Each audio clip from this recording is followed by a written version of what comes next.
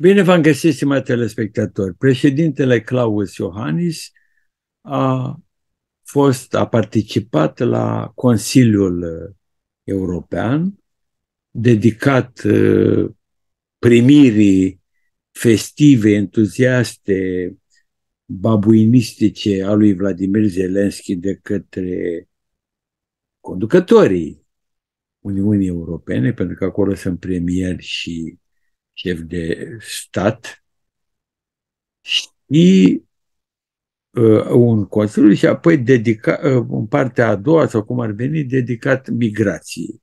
Despre faptul că de preocuparea uh, Uniunii Europene pentru migrație îi se dedică și un consiliu special, arată că dezvăluie sau demonstrează că ne putem lua adio, cel puțin la noastră, de la Schengen. Este foarte greu să pui problema extinderii spațiului Schengen și în același timp și a uh, rezolvării problemei migrației. Uh, președintele Claus Iohannes, care s-a preferit de mai multe ori la această migrație, se vede că n-a înțeles nimic.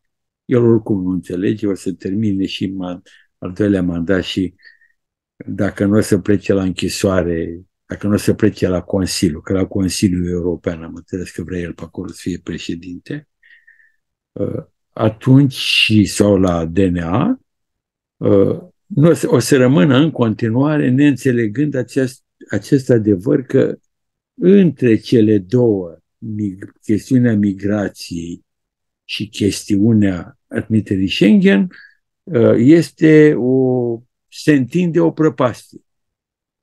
Extinderea spațiului Schengen înseamnă ca frontierele externe ale Uniunii, ale spațiului Schengen, să fie pe România și pe Bulgaria.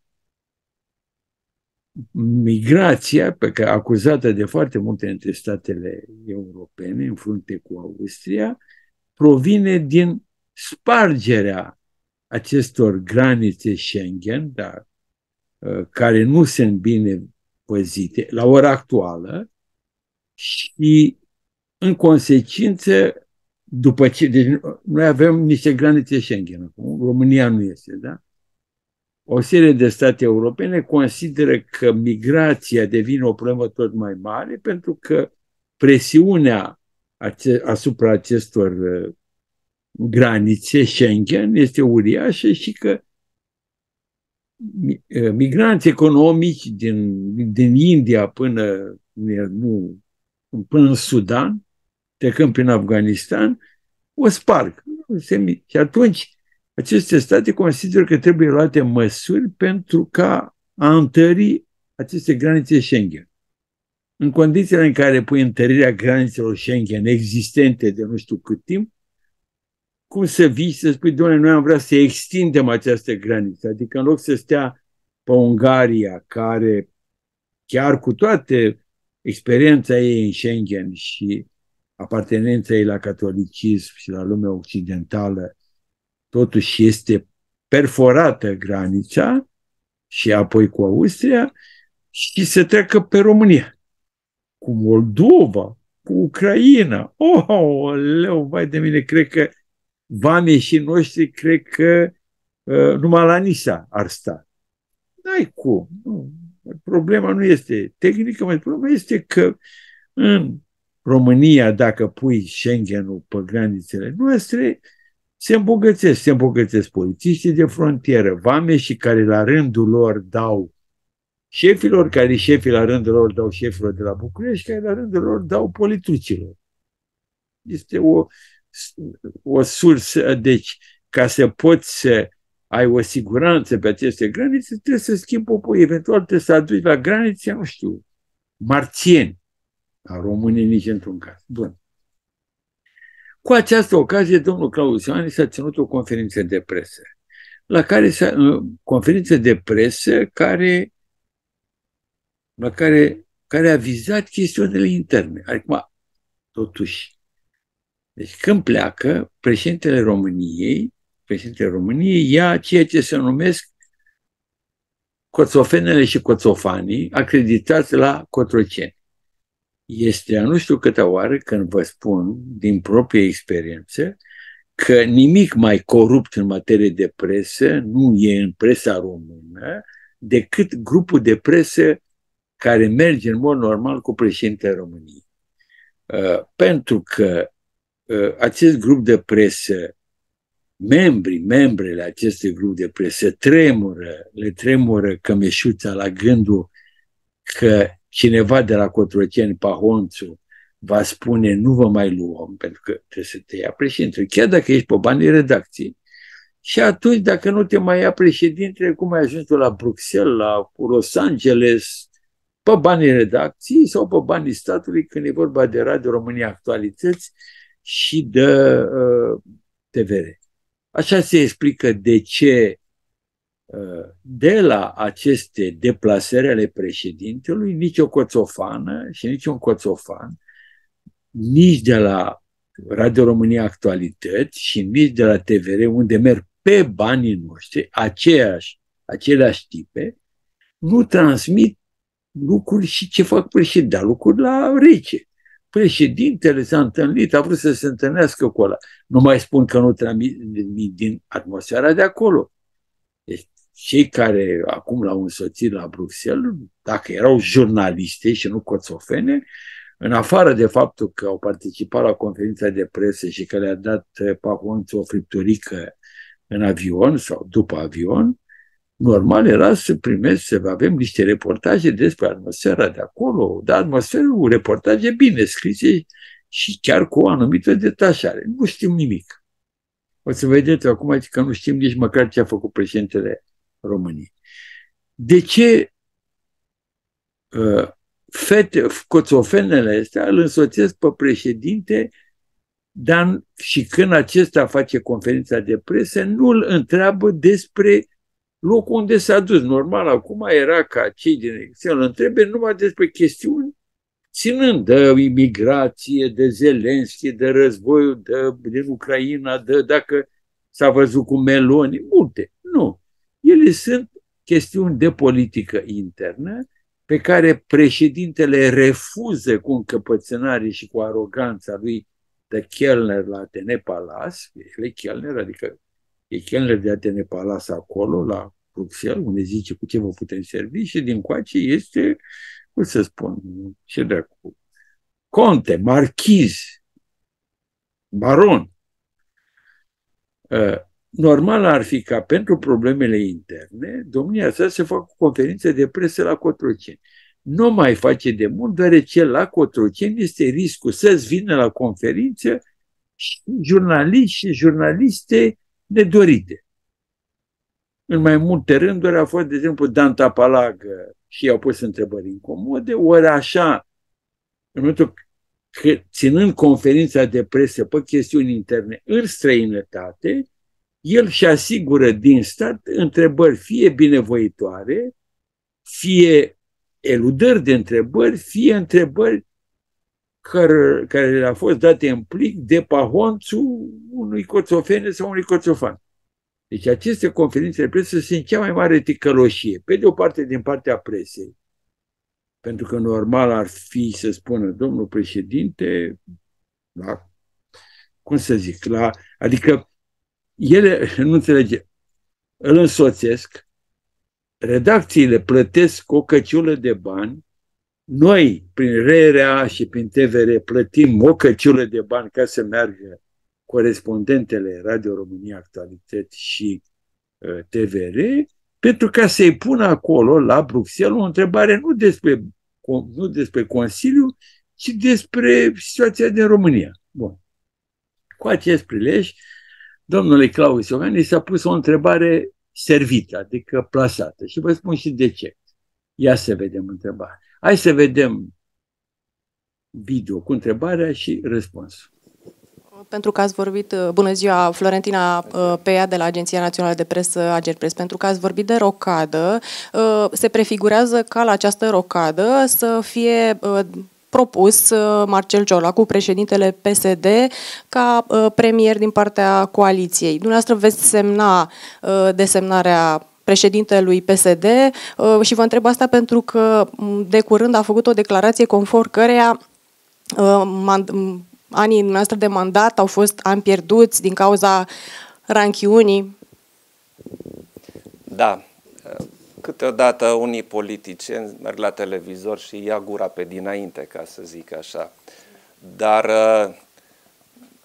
nu cred că cineva uh, a uitat sau nu a înțeles că această coaliție a apărut dintr-o nevoie. Țara trebuie să fie guvernabilă și țara trebuie să aibă un guvern stabil în aceste vremuri tulburi și atunci trebuie să avem puterea interioară să trecem cu mai mult sau mai puțină lejeritate peste anumite declarații mărunte, și să vedem care este în realitate interesul României.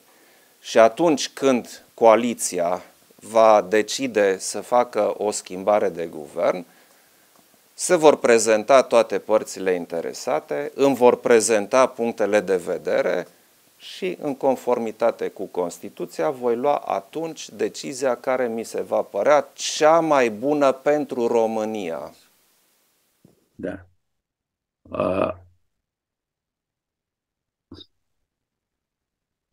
Deci, jurnalist, nu știu, cred că e Coțofan, pentru că ați vorbit de rocadă, se prefigurează ca la această rocadă să fie propus președintele Ciolacu, președintele PSD ca premier din partea curții, unde se veți semna așa, președinte, și vă întreb asta pentru că de curând a făcut o declarație conform care anii dumneavoastră de mandat au fost pierdut din cauza rănciunii. Odorong Trong Margilo Tronc și legătura are rocada cu ce a zis Claus Ioan. Răspunsul lui Claus Ioanis este net anticonstituțional și este arată încă o dată că el este surprinzător jupânul României. Repet, în 2021, da, 21, s-a realizat o nouă majoritate în urma unui acord între PNL PES și PSD, cele două partide adversare, prin care s-a stabilit că vor avea un program de comun, că vor avea la Parlament vor vota același lucru împreună cu UDMR și că în mai va avea loc o rocadă. O rocadă în sensul că, deocamdată, în prima parte, în primii doi ani, premier e de la PNL și apoi va veni premier de la PSD. Bun. Deci acesta este un acord, un protocol care nu are nicio legătură cu președintele. Nici una. Este un acord între două, trei partide. Dacă domnul Claus Iohannis respecta cât de cât Constituția și nu o barjocorea cum face de când a ajuns președinte, ă, nu, cum să spun, mă celărește așa, ar fi spus, este un acord între cele două partide, dacă cele două partide sunt decise să respecte acest acord și să face rotația, va veni președintele potrivit acordului și o să semnez pentru că așa scrie acordul între partide. Nu, el spune așa.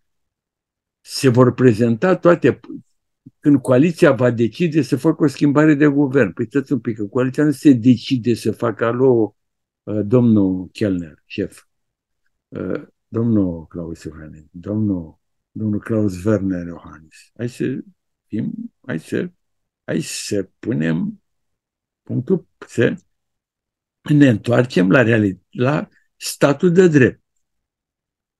Uh, coaliția nu va decide să facă o schimbare de guvern, nu va decide, deci este un acord între ele, da? Doi, ele nu se, adică rezultă, deci dacă se decide respectarea acordului care este o chestiune, încă o dată nu schimbă nimic decât să schimbă potrivit acordului niște milice și premier. În acel moment, clar, din punct de vedere constituțional, Nicolae Ciucă trebuie să-și dea demisia, se va merge la Cotroceni, dar mai mult formal, pentru că potrivit acordului va fi domnul Ciolacu sau cineva de la PSD. Claus Iohannis, care știe de acest acord, dar nu-l mai invocă, și care a și fost nașul, a patronat această coaliție, nu face decât să semneze. Nu trebuie să-i se prezinte nici părțile, punctele de vedere, cum voi lua decizia care mi se va părea cea mai bună pentru România. Decizia trebuie să o ia potrivit acordului. Deci, domnul Claus Iohannis ne-a anunțat aici, fără să spună direct, că nu există niciun acord între cele două partide și că rotația nu va avea loc. Ba mai mult, după părerea mea, domnul Claus Iohannis a anunțat ruperea coaliției. El știe ce știe. În ultima vreme există deja, sunt atacuri reciproce între PSD și PNL, la care se uită UDMR, un dezastru pentru guvernare, deoarece nimeni, guvernarea întotdeauna, administrația centrală nu merge bine, în momentul în care simți că, că nu va dura mult. Poate că durează, dar și până în mai, dacă o țin așa, s-a terminat cu administrarea țării. Știți foarte bine, imaginați, e un minister și trebuie să mucească ea din minister, în frunte cu ministru. Păi dacă vede că coaliția asta și-a mai dat un ghion și clăuze, mai ce rost are să muncească. Eu cred că, din câte se vede până acum, cred că se va forța o, cum să zic, o rupere a coaliției. De exemplu, Claus Iohannis nu e, nu trebuia să și răspundă, politicieni merg la televizor și ia gura pe dinainte, ca să zic așa, că totuși Marcel Ciolacu n-a zis că el e chelner și că merge în fiecare vineri și sâmbătă nu poate trăi fără răvășitoare sau fără popicele sau, sau ce joacă el tabinet. Nu, mă rog, a zis că a stat să se ranchiune. Adică domnul Claus Ioanes se consideră în continuare pe e încă pe cai mari, îl are pe Helvig, îl are pe Vlase, băieții din servicii, erau pe ăștia de la DNA, oricând se vor pune în mișcare. Acum, bun, faptul că el răspunde așa și mai ales că nu invocă acordul, arată că nu se va ajunge la în mai. După părerea mea, PSD-ul va fi forțat să plece și se va face un guvern PS, PNL, USR, UDMR, UREPER, așa, la limită în Parlament, PSD-ul trecând în opoziție. De ce? Pentru că uh, PNL-ul este atacat violent dinspre USR, dinspre dreapta. Aceste atacuri permanente ia mușcă din electoratul PNL, chiar dacă acest electorat nu merge la USR, el devine nehotărât sau zice nu mă mai duc la vot, pe teme, plagiat, plagiat, uh, numire în funcții, nepotisme, criticile PSD la adresa PNL, din acest punct de vedere, nu îl afectează, pentru că criticile PSD sunt de pe pozițiile PSD și electoratul uh, PNL este puțin sensibil la ce spune PSD-ul. Dar la ce spune USR-ul și mai ales mașinăria de presă USR-ul este foarte atent. Deci, cred că pentru ca uh, USR-ul să-și înghită limba, adică să nu mai critique și nici presa useristă, se va face această coaliție de dreapta și poate să critique PSD-ul cât o vrea el, că nu va afecta. Ba, cred că re, reconfirmați ștabii de la parchet, de la DICO, de la DNA, abia așteaptă să devină un fel de bulane care să administreze PSD-ului uh, niște ancheta, anchete în cap. O să vedeți. Așa cum au făcut cazul Pițurcă, o dovadă de uh, reîntoarcere la spectacolele mediatice uh, jalnice, oribile ale binomului, așa vor face și cu PSD-ul în acest punct de vedere. Bun. În legătură cu Claus Iohannis la Bruxelles, asta al doilea punct, eu am o nedumerire. pe site-ul președinției se află acest comunicat, da? Eu îl citesc, ca să vedeți. Întâlnirea președintelui României Claus Iohannis cu președintele Ucrainei Volodymyr Zelensky cu prilejul reuniunii extraordinare a Consiliului European. Comunicat. Este comunicatul președinției. Și citesc. Și dumneavoastră poate că o să mă lămuriți pentru că eu nu pot. Oricât am încercat și nu pot, nu pentru că e 12 noapte, ci pentru că chiar mintea mea nu înțelege. Președintele României, Claus Iohannis, a avut joi, adică 9 februarie 2023, o întâlnire, virgulă, virgulă, citiți, alături de un grup de lideri europeni cu președintele Ucrainei Volodymyr Zelensky cu prilejul reuniunii extraordinare a Consiliului European de la Bruxelles, regatul Belgiei. Explicația alături de un grup și nu alături de toți membrii Consiliului se găsește într-un comunicat al lui Zelensky, care ne-a anunțat că a hotărât să împartă Consiliul, membrii Consiliului pe grupuri și să se întâlnească cu fiecare. Nu cu, nu cu fiecare membru, fiecare grup. Domnul Claus Iocani nu ne spune în ce grup a nimerit. Eu cred că e cu Bulgaria. Nu-mi dau seama în ce grup a nimerit. Da. Bun. Deci a avut întâlnire. Deci întâlnirea, acum ne dăm seama, Claus Iohannis și încă vreo cinci câți au fi fost lideri acolo pe care nu știm și de acolo în bancă. Și deodată, ca și la Cotroceni, s-a anunțat Volodymyr Zelensky, bang, bang, și s-a ridicat în picior. Nu, cioare Claus Iohannis, poate. Veni Zelensky, a intrat Zelensky, s-a așezat singur și ce rezultă din comunicat? Președintele Claus Iohannis a salutat prezența președintelui Ucrainei la reuniunea ca dovadă așa. Președintele României a subliniat. Deci a vorbit, da? Așa. Președintele Claus Iohannis a susținut de asemenea necesitatea de a menține presiunea așa. Președintele României a transmis președintele Volodymyr Zelensky sprijinul țării noastre pentru formula de pace. Frumos spune, și de Zelensky și de aici și se presupune că președintele Claus Iohannis ridicat în picioare și corect. El cravată, când Zelenski putea permite să vină în tricou, a ascultat. Ar fi fost normal dacă președintele României ar fi vorbit, adică fiecare din liderii și inclusiv ar fi vorbit, normal era ca președintele Zelenski să răspundă, mulțumesc poporului român. Citez din comunicatul lui Claus Iohannis. La rândul său, deci după ce a vorbit președinte, așa se spune, președintele României, la rândul său, președintele Zelensky a transmis aprecierile poporului ucrainean pentru sprijinul oferit de statele Uniunii Europene, atât în plan bilateral, cât și la nivelul ei și a exprimat convingerea că acest sprijin va continua să fie la fel de puternic. mai telespectatori, în grupul ăla de presă sunt, repet, și un redactor pe banii noștri de la RLA și de la TVR o rugăminte, sigur că nu o să mă asculte, dar în numele banilor care îi dau și eu prin taxe pentru ca cei de la Radio România Actualități și la TVR să se plimbe pe tot globul, una din cine a fost acolo să ne spună cum s-a întâmplat, că nu știu, n-am nici imagine. Deci, a venit Zelen, a fost ea în bancă, s-au ridicat mai mulți, bănesc mai mulți și Zelenski. A vorbit fiecare corect.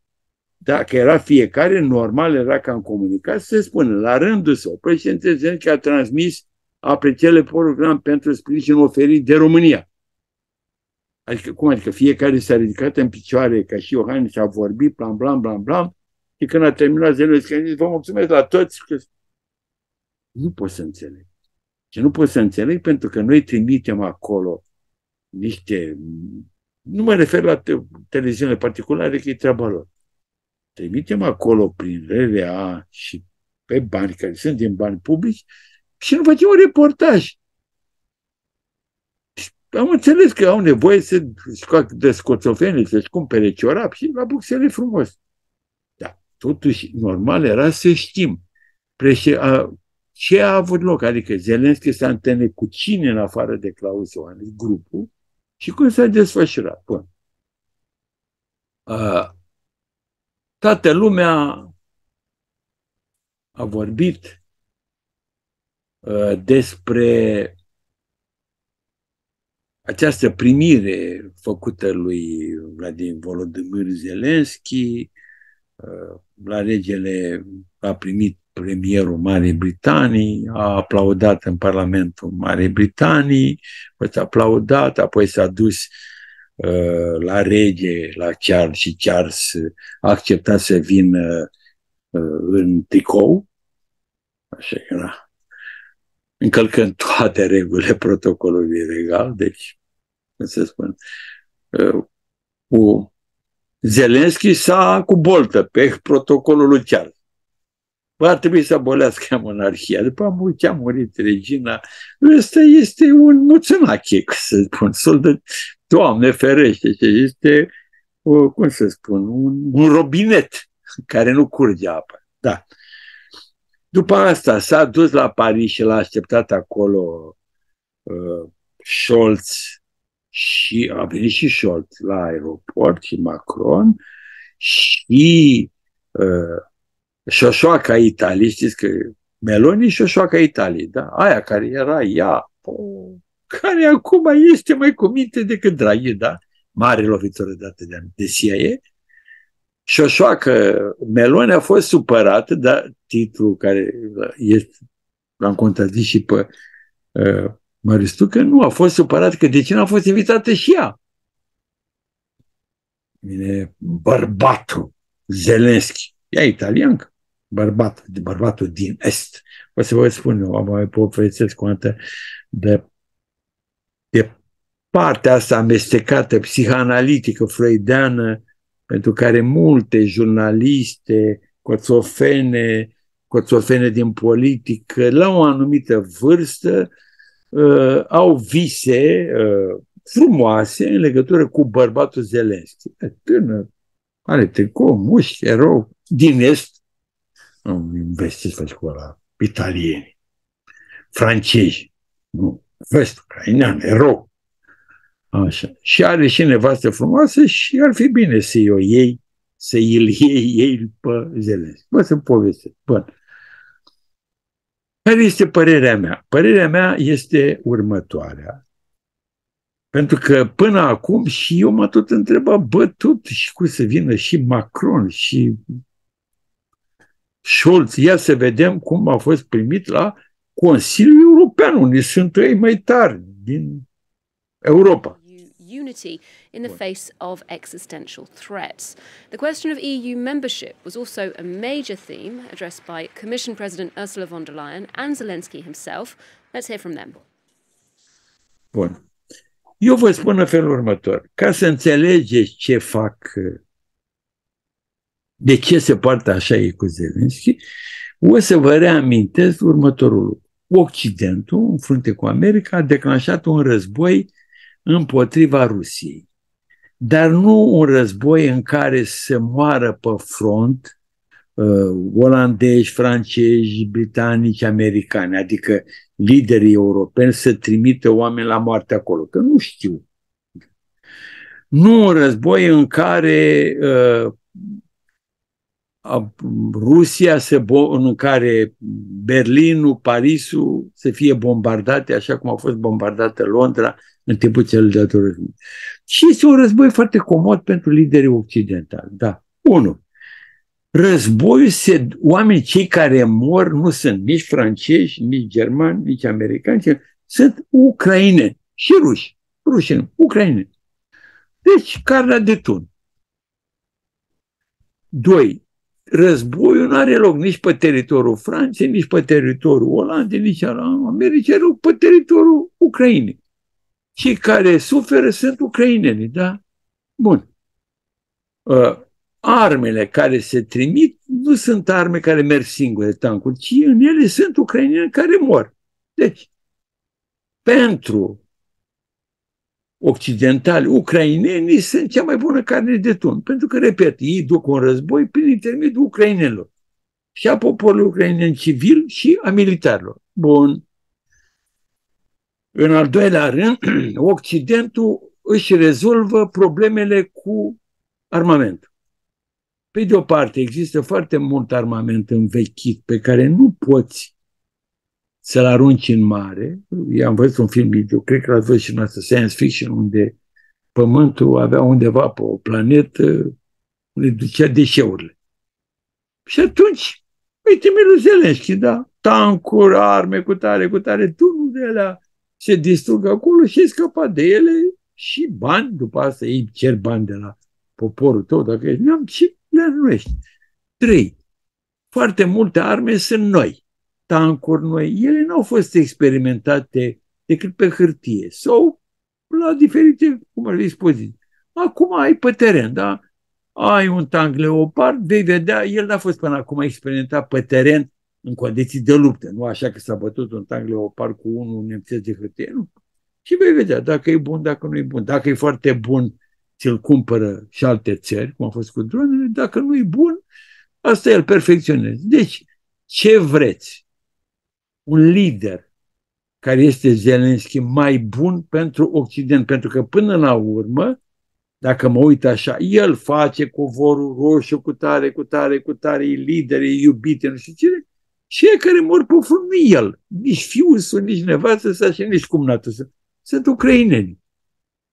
Dacă ucraineni acceptă asta, de ce, de ce occidentali? Și atunci, occidentale găsesc întotdeauna un tip pe care să-l folosească.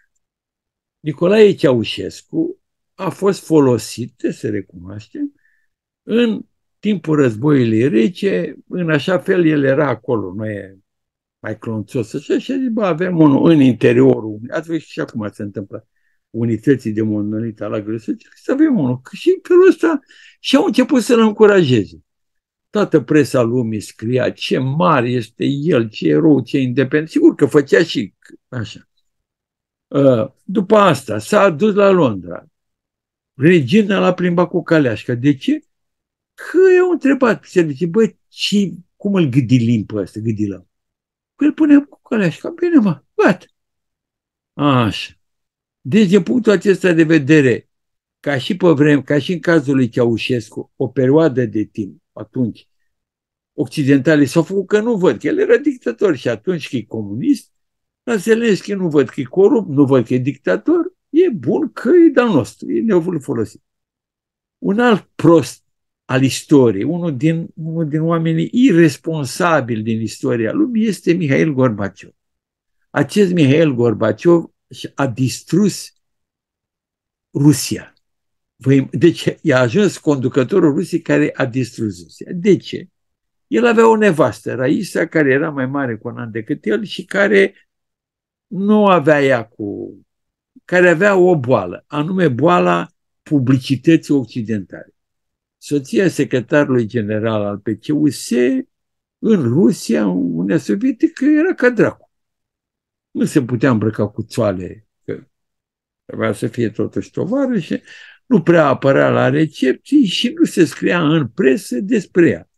Băieții din Occident a zis ce-i place lui tanti? Oh! Și a început reportaje, ce frumoasă este Raisa și cum ce taiorane și ce bine stă și cum este bine fusta și bine și are și senișori. Cum sunt occidentali? Bine, în același timp, el era de o, o, de o fudulie ieșită din comun. Și fiecare lucru care îl făcea împotriva propriei țări era ridicat în slăb. La un moment dat, Fidel Castro, la o conferință de presă cu niște coțofene în America, el era din ăla, a zis că ea sună, spunea, uh, cum se spun, uh, Fidel, ce părere ai despre omul păcii Mihail Gorbaciov și Uniunea Sovietică care este stegarul dreptății? Și la un moment dat Castro și-a făcut ce bă, dar până mai ieri Uniunea Sovietică era monstru, era o criticați tot timpul. Ce s-a schimbat? Poate ajuns să lăudați comunismul din Uniunea Sovietică? Deci ce era? Ce-i plăcea lui Nene? Și au început uh, uh, omul păcii, premiul Nobel pentru pace, uh, cel care face pace pe lume. Așa. Și la o tovarășa, care era gâdilarea? Nu fustele că nu le avea, erau cărți, titlurile. De așa se explică de ce i-au dat ei atâtea titluri. Că între noi fie vorba de normal. Bă, care? Deci avem de-a face cu patru exemple pe care le-a manipulat Occidentul și le-a folosit. La Ceaușescu l-au împușcat, pe Raisa a murit cum a murit, Gorbaciov a căzut de la putere, tovarășa a murit și ea la Târgoviște. În 85, când a venit Gorbaciov și ăia din Occident, a zis, opa, ce mai avem nevoie de Ceaușescu? De nevoie avem noi de rebelul care să turbure unitatea lagărului socialist, când am găsit șeful lagărului socialist care este atât de neghiob, atât de tândal, atât de fudul, atât de mălai mare, îl manipulăm. Și a ajuns că, încă o dată, eu când am citit memoriile lui Gorbaciov ăsta adevărate, este un spectacol. Eu, la fiecare pagină, la fiecare pas pe care îl face, îmi dau seama cât de idiot era. De, deci închei. Deci este la un moment dat o chestie extraordinară. Comunismul, comunismul, bolșevismul este un regim dictatorial. Ce înseamnă dictatorial? Înseamnă partid unic. Partid unic. Nu există dictatură cu mai multe partide. Atunci e democrație. Bun. Asta este teza comunistă. Conduce partidul unic care este reprezentantul poporului, bla, bla, bla. Sunteți de acord? Bun. Socialdemocrația este adepta pluralismului, adică sunt mai multe partide din partea stângă. Uh, unele intră în opoziție, altele câștigă alegeri libere, baba. Cele mai mari războaie între comuniști și social-democrație au provenit de aici. Și face Gorbaciov. Ajunge secretar general al PC-ului și zice, da, din a, ajunge șeful. Uh, eu propun ca să scoatem din Constituție că PCUS este partidul Păi și cum au zis? Da, și noi vom merge la alegeri. Păi bă, asta e social-democrație, nu mai e comunism. Ce dracu era mă în capul ăsta? Încă o dată, nu apreciez, nici nu critic, nici nu laud. Spun, comunismul este un regim dictatorial. A fost, nu știu dacă va mai fi, unde mai... El are un, se caracterizează prin absența pluralismului în Constituția țării comuniste scrie partidul conducător și singur este partidul comunist sau partidul muncitoresc, da? În aceste, cum se vii tu în fruntea partidului și președinte al Uniunii Sovietice și zici, a, nu, gata, Partidul Comunist uh, nu mai. Nu. Devine și el un simplu partid. În acel moment se termină, de și de mai mirăm. Bun. Am încheiat. Deci eu cred Că altfel nu se explică. E greu de presupus că totuși și ăștia, liderii occidentali, Macron, sunt niște bine de ei, se frumoși cu tare. Și zice, bă, care e mă problema dacă nu îl primim cu pumul roșu? Și ne costă până de la Ceaușescu, repet, nu, la, nu au primit, nu au chiar credeți că erau așa de numai încântat? Nu. Avea nevoie de el. La Zelenski, bă, unde mai găsim noi un șef de stat care să-și transforme propriul popor în carne de tun pentru un război dus de Occident, că e clar că îl duce Occidentul, și teritoriul lor, cu case, cu arbori, cu să se fie teritoriul de război. Păi cum merg cum veni și mie, noastră, Macron. Nu îi bombardează la Parisul, nu se duc francezii cântăm Marseieza să moară acolo cu rușii, mor ucraineni. Și uite că extraordinar, domnule, ce ajutor de Occidentul uh, antrenează 10.000 de ucraineni. Păi băi, antrenează ca să pună flori, ea antrenează ca să danseze hora, nu, ea antrenează ca să meargă pe front. Și pe front ce fac? Cântă? Mor. Mor, sunt răniți. Asta este. Și că extraordinar, zice Zelenski. Mulțumim Occidentului că ne ajută să trimitem oameni pe front să moară. Mor. Nu mă refer la rușii mor, dar acolo e altă chestie, treaba lor, sunt dictatori, e Rusia. Am auzit și asta, Rusia nu e în Europa. Păi sigur că nu e în Europa. Bun. Deci mă, eu mă refer la asta, da. Bun. O să discutăm și dar, data viitoare, că deja târziu. Așa. Să să nu uit că vine la ora 13 la Cristoie TV și Metropola TV la emisiunea Core Munteanu Corazon. Este invitat Iulian Rusanovski, este un tânăr, uitați-l aici, ce frumos este, mi-a trimis și o carte din Republica Moldova, a scris această carte, Războiul monumentelor, restabilirea monumentelor românești interbelice din Republica Moldova. Mi-a trimis aici o dedicație, nu vă citesc, este foarte interesant, o să citesc, când o să-l termin pe Irinel Colombeanu, am ajuns la spre sfârșitul volumului 2, mamă, așa? Și atunci o să-l chem și o să fac această emisiune extraordinară de mon, mon, extra, monumente românești. Uitați, aici ce frumos a făcut așa, da? Unde mai e aici? Uite, să luăm un monument, da? Uite, și vizita regală, foarte mare istoric. El va fi invitat va, despre bunici la ora la mine o să fac pe baza acestei cărți pe care o citesc.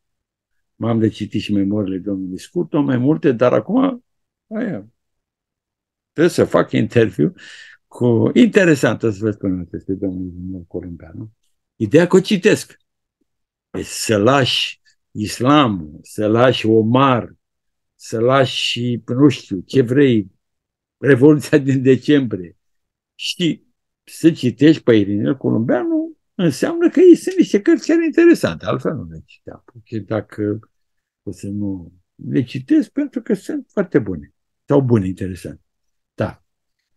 Și ca să închei, în aceste zile am văzut la televiziuni, se discută, se explică cu tremur, cauzele cu tremur. Și au apărut aceste teorii care pe mine mă amuză, că americanii care și rușii sau chinezii care americanii care pot provoca cu tremur. Stimați telespectatori, v-am citit din Fratișderi, da? Aoleu. Aoleu. Din Fratișderi, da? O secundă, o secundă, o secundă. Uite, tocmai acum am scos așa, așa, așa, așa, așa, așa. Bun.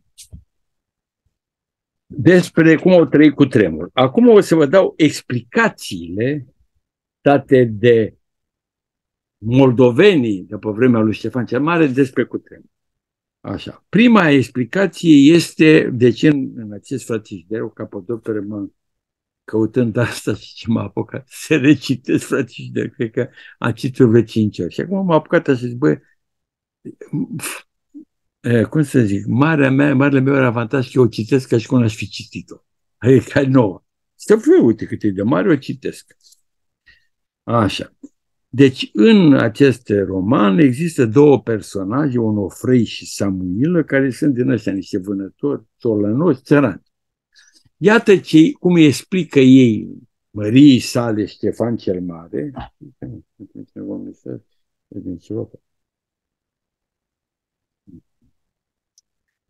Cum? De ce a avut loc cu tremur? Era după cu tremur, da? Așa. Arhimandritul Anfiloșie Șendrea, care este sfătuitorul de taină lui Ștefan cel Mare, îi întreabă uh, ce i-a zis lui Ștefan cel Mare.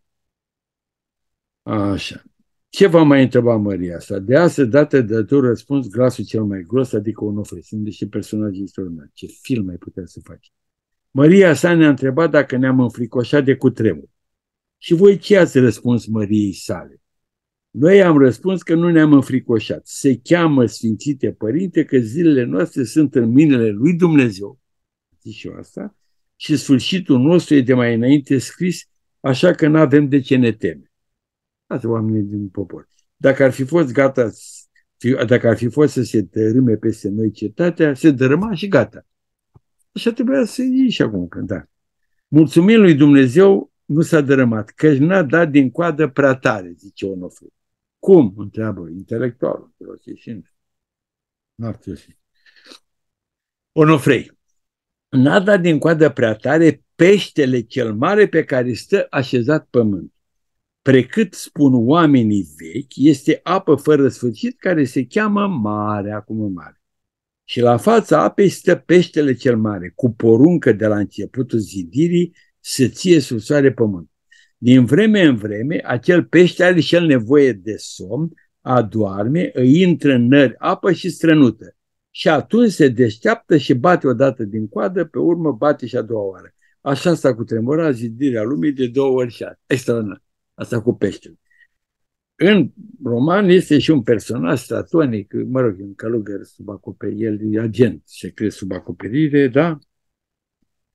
Cum explică el? El este întrebat de personajele feminine și cum explică el cu tremur, da? Bă.